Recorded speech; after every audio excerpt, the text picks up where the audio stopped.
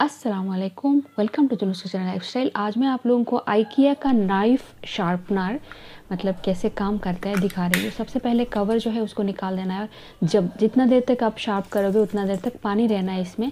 तो इसलिए ऐसा पानी भर के थोड़ा कम स्पेस है मतलब उतना ज़्यादा नहीं है। तो इसमें सब पानी फिल करने के बाद ये जो बॉक्स है, इसको लगा देना है और नाइफ़ ऐसे लेके शार्प करना है। अक्सर क्या होता है, हम लोग स्टील जो स्टेनलेस स्टील का नाइफ़ खरीदते खरीदते थक जाते हैं कि इतना मतलब ब्लंट हो जाता है कि सब्ज़ियाँ भी नहीं काटते फ्रूट्स भी अच्छी तरह से नहीं काट पाते। तो ऐसा अगर आप एक आइकिया का शार्पनर जो ले लेते हो ना तो इसमें क्या होता है, आपको नाइफ़ इतना शार्प होगा कि आप इमेजिन भी नहीं कर पाओगे।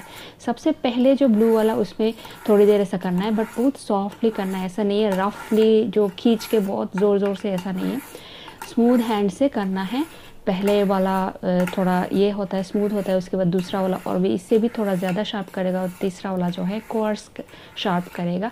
और जितना देर तक आप शार्प करेंगे, उतना देर तक इसमें जो पानी फील किया है वो अंदर रहना है तो आप लोगों को साउंड सुनाई दे रहा होगा, उसमें पता चल जा चल रहा होगा कि नाइफ़ कितना शार्प हो जाता है उसमें। और मैं आप लोगों को आज दिखाऊँगी। ज़्यादा देर तक नहीं है सेवन टू टेन मिनट्स तक मैंने ऐसा स्मूथली मतलब शार्प किया है। ये मैंने नहीं किया है, मेरा जो भाई का बेटा वो करके आप लोगों को दिखा रहा है। Thank you Rifat.